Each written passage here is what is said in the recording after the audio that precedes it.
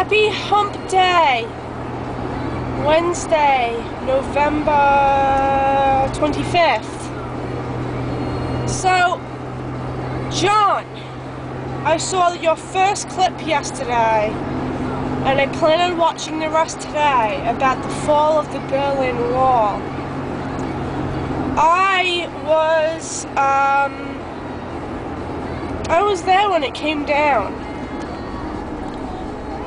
And I don't know. Um it was it was a very unique experience. Very unique. It was all over TV. It was all over conversation. Um, it was just everywhere you looked. It was all about the Berlin Wall coming down and uh, East meets West.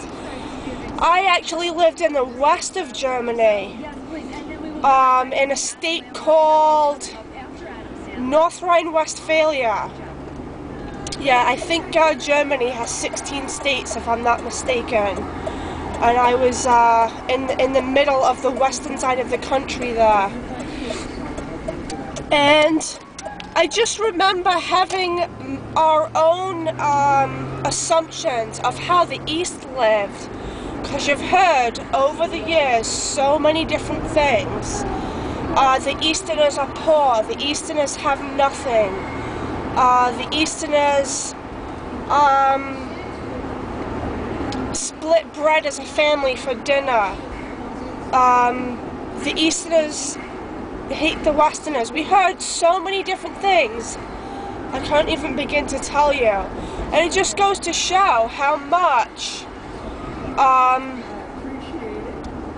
news media and uh, general conversation um, can alter your opinion of, of things that you really don't know anything about. Really, because I'd never been to East Germany. Uh, the closest I'd ever gotten was uh, the Brandenburg Gate. It's just, I don't know. Uh, and nowadays it's so much easier to get information because we've got all the newspapers we could possibly want to read of every kind of opinion. We've got blogs, we've got internet, we've got social networking, we've got all sorts of ways that we can connect to the world that's outside of our little bubble that we live in, if we so choose to.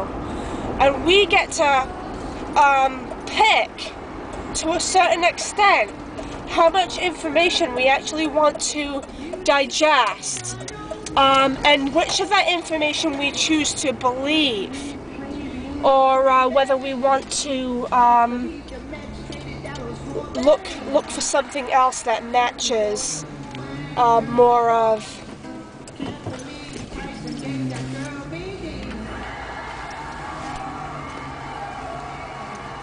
that matches more of um, what we're more inclined to believe. Okay. Um, I remember asking my uncle when I was a kid, because he was much closer to the wall, if he'd gotten a piece of it. Because that was the big rage, was to get a piece of the Berlin Wall, because one day it was going to be worth tons of money.